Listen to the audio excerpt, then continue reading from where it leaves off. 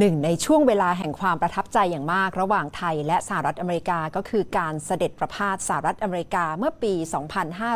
2503 ของพระบาทสมเด็จพระปรมินทรมหาภูมิพล อดุลยเดชนะคะเรื่องราวแห่งความประทับใจในครั้งนั้น ได้รับการถ่ายทอดผ่านสายตาของคุณวิจิตชัยวัน อดีตบรรณาธิการหนังสือพิมพ์ท่านหนึ่งที่จังหวัดเชียงใหม่ค่ะ และเป็นการจัดทำวิดีทัศน์ชุดพิเศษ ของสถานเอกอัครราชทูตสหรัฐอเมริกาประจำประเทศไทย ผ่านวีดิทัศน์ชุดที่ชื่อว่าประวัติศาสตร์ผ่านเลนส์ค่ะ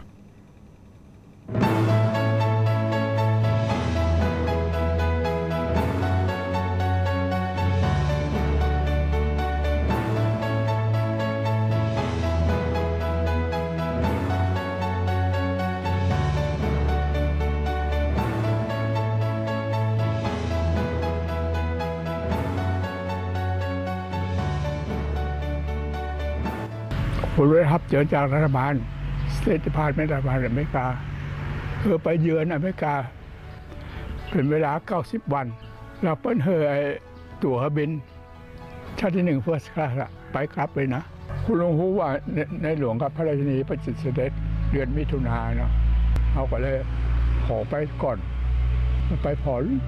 รู้จักอเมริกาแล้วรู้จักอะไรอย่างต้องต้องอเมริกาสามารถที่จะวิ่งเต้นวิ่งถ่ายไปคนเดียวถ่ายรูปในหลวงที่สนามบินในแมท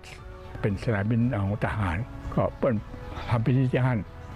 ก็คุณลุงก็เป็นคนเดียวที่ว่าวิ่งบายถ่ายนั้นไอเซนฮาวเป็นประธานาธิบดีหลวงไอเซนฮาวร์แวลคัมในหลวงตอบเนาะเปิ้นตอบสั้นๆนะแต่ว่าได้ใจความเปิ้นว่า I am not a stranger or a visitor, but I come home because I was born at Mount Auburn Hospital. And I come home to visit my birthplace. ไปเยี่ยมไปหาหมอหมอดีครับไปทำคลอดไปก็ทำเพลเทอร์แล้วก็เขียนไว้ว่า to Dr. Whitmore my first friend in the world หมอสอบใจต้องช่วยครับมันในลงในคิ้วตัวเขาปาไปเตียนมวยบาลที่เปิ้นเกิดไปพอห้องที่เปิ้นคลอดครับต้องให้วนยังเก็บไว้อยู่ แล้วก็มีมีไอ้เพลททองเรื่องทองคำมันเนาะเขียนไว้นี่เป็นที่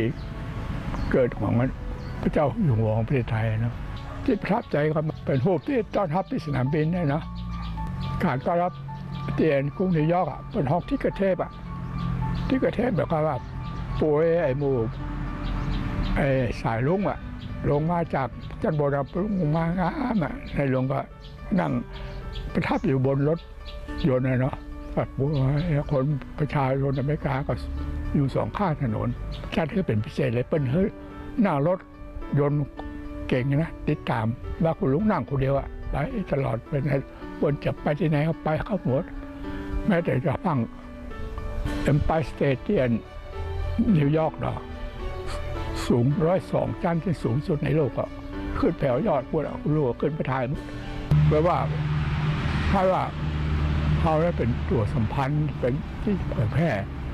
ข่าวเนาะภาพในหลวงต่างๆถ่ายไปว่าเฮ้ยคนไทย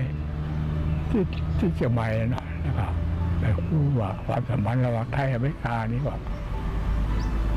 แน่นแฟ้มาตั้งร้อยห้าสิบปีมาแล้วนะรู้สึกว่าภูมิใจมากนะ เพราะว่ามันมีภายในโลกเลยตีแทบอย่างนั้น